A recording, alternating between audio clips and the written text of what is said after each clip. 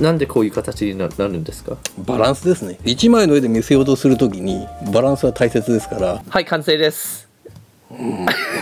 薄いよろしくお願いします。よろしくお願いします。毎度今回はプロ vs. アマチュアで背景やってみたいと思いますが、これは何のシーンですか？あの普通の街中によくあるビルの群れを描いたんですけど東京ですか？うんど でポイントが斜めになっている、うん。でここは斜めになっていないところと青い線がまあ上に伸びるパースですね。これに合わせてこうなっているんですか？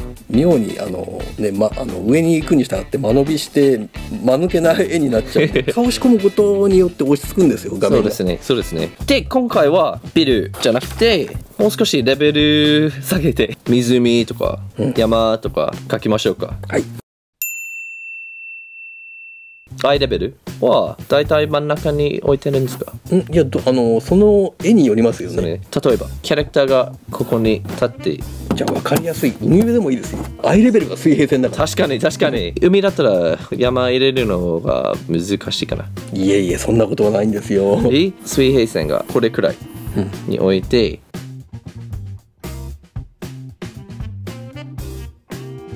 お水平線の向こうに巨大な山が。適当な対応ならこんな感じですね。でも入れない方がいいですね。うん。私一番困るのがここに何を書けばいいか、まあ海ですね。まあ、海ですけどこういう形しか書けないです。コツありますかうん。波打ち際の波の様子？ここら辺。波が寄せてるでしょ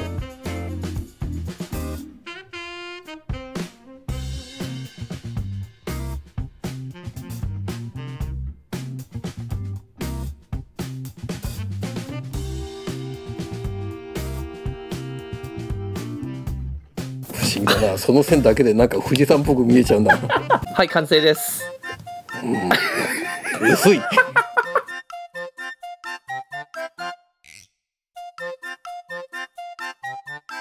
美しいでしょ？うーん。今の絵をなぞるならまあカメラは、ね、ここにあるってことですよね。うそうですねカメラが人の、はい。ね、胸のところにあるってことですよね。ちょっと遠くに離れた人もこういうところね割り出せるでしょそうですね。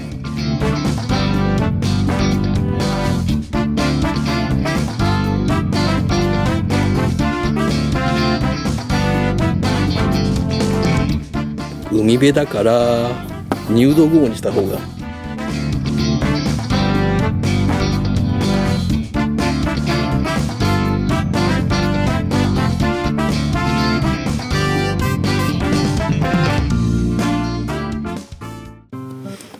まあざっと書いただけでこれぐらいすごい。になっちゃうんですよね。いつも聞きたいことは、なんでここに雲入れなくてもなんでこういう形にななるんですか？バランスですね。1枚の絵で見せようとするときにバランスは大切ですからうん。あの意味もなく偏った感じで雲を配置したりとかは自然と避けるようにはしてますけどね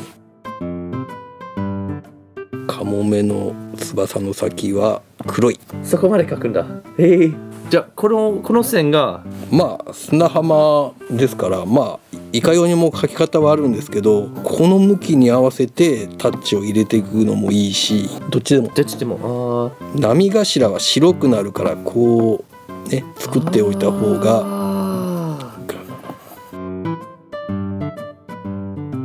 おおもうそれそれだけでもう動いているように見えるんだ。ちょっと波が高くなった時はこんな感じになったりもすごいでしょ？すごい、う少しだけ書いても。まあ基本のフォルムっていうのがあるからあこういう時はこういう形にした方がいいなっていうのがありますからね、うんうん。バランスが大事ですね。はい。まあ こんくらいボリュームがあっても。そうですね。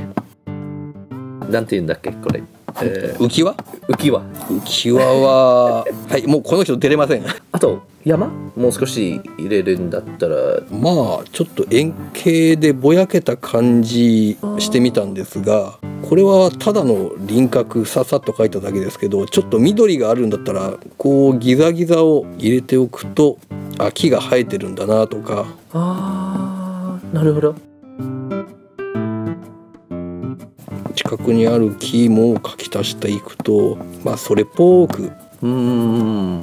雲に影入れるならどこに？そうだな。これは実際あの背景っていうのは背景担当の方が描いてくれるんですよ。これを参考にして。あお上手に描いてくれるんですよ背ー景さんが。光の方向を指示するとかしてそうするとまあ入れてくれるこんな感じかなこういう直接海見てるなら何が一番簡単に改善できるか。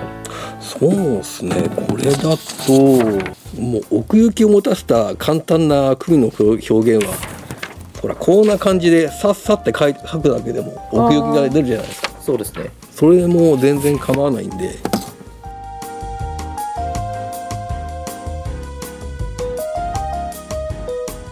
でこっちは白くするところですね。ええ。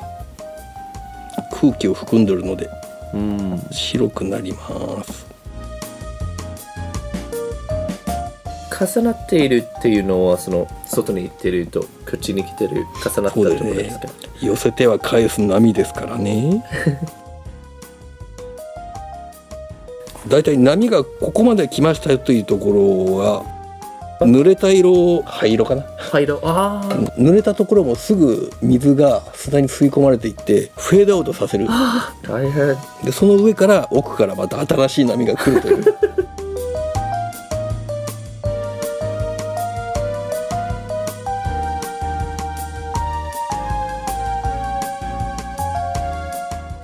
とまあこんな感じですか？うん。で。入道雲じゃなくてこういう薄い方がえ遠近感というか、うんこれもう一つ入れたのはバランスのためですか？そうですねこれはちゃんと立体的に見せないといけないので、うん。これはただのあの記号じゃないんでこういうあの円錐型になってるうん、形なんで、うん、ちゃんと書いておかないと、そうですね。まあ、これがこ こっちにこうこう打ち寄せてくるわけだ。次々とこいつらが。うん。ありがとうございました、はいどういたしまして